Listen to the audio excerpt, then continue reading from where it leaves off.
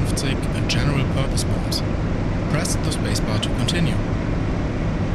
The weapon console for air-to-surface weapons is installed in the lower center console. It consists of bomb settings that will allow us to set the bomb release mode and fusing. In the middle of the console are four lights. Each of these lights represents one of the four bombs you have loaded. When one of the bombs is dropped, its associated light will extinguish. Press the spacebar to continue. Sturz settings on the left-hand side are used for dive bombing and the Waagerecht settings on the right-hand side are used for level bombing. We will use the dive bomb setting for this lesson.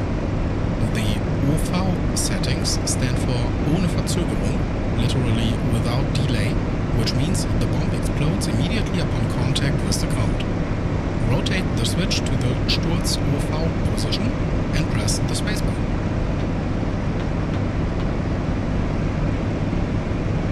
Just ahead of your left wing on a dirt field by the river is a green smoke marker. I'll also set off some signal flares to better help you locate the location. At this location are four sets of target trucks. Any of these trucks groups will be your target. When you spotted the target area and are ready, press the spacebar to unpause the mission. While maintaining your current altitude, fly towards the target area while keeping it just ahead of your left wing. As you get closer, you will have to dip your wing to maintain sight of the targets. When the targets are about 45 degrees below you, roll the aircraft into the target area and place the nose of the aircraft below the target group you selected. The steeper your dive, the more accurate bombing can be.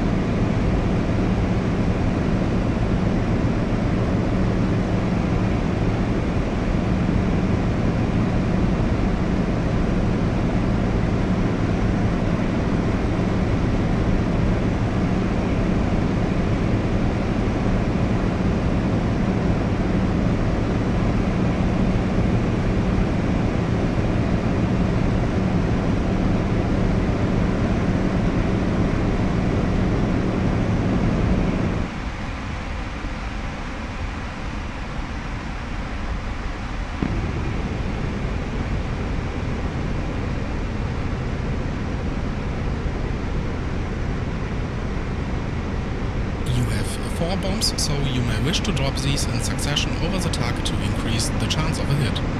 At about 1000 meters, pull the nose over the target and drop your bombs. Use your joystick or press right shift and space to release a bomb.